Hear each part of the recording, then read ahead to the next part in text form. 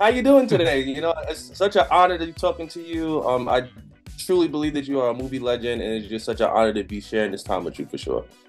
Oh, thanks. I appreciate it. So you play a supporting role, but it's one of the most important in um, George's story and um, just life in general. Uh, what were some of the things that you had to do to prepare for, like you know, just getting this role together and like playing Doc right?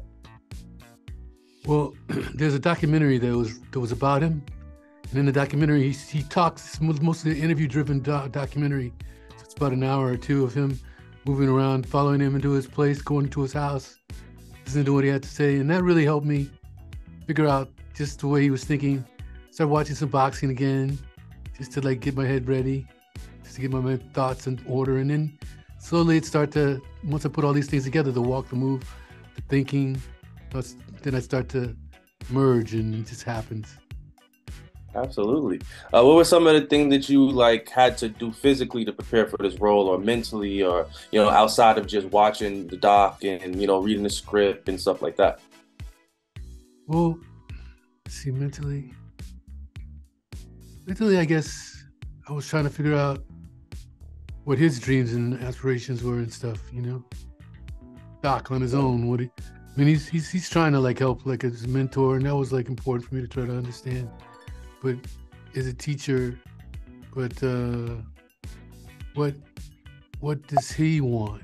You know, and I think there is a there is a goal that's past like making sure that these kids go in the right direction.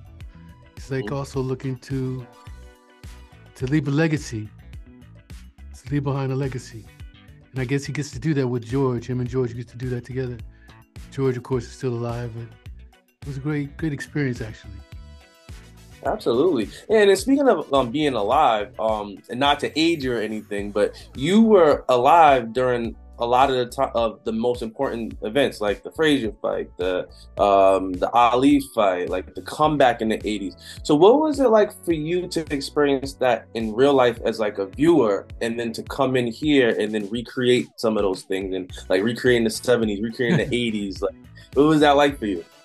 It was amazing. You know, you're right. That was the time when I was watching boxing, and as a kid, we talked about it around the you know around the couch and and dinner mm-hmm. and everything. It was like a big, big deal.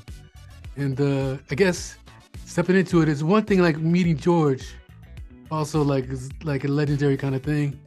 But I think when the boxers would be training and stuff and getting ready, I'd say, "Oh, he looks, he, he does look like Frazier.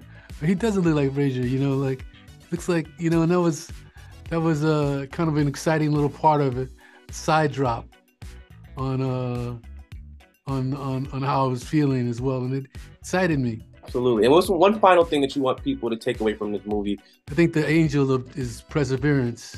That you can know that if you continue to believe and you work hard, that you can achieve your goals. You know, the, the notion is to believe, to believe, and anything's possible.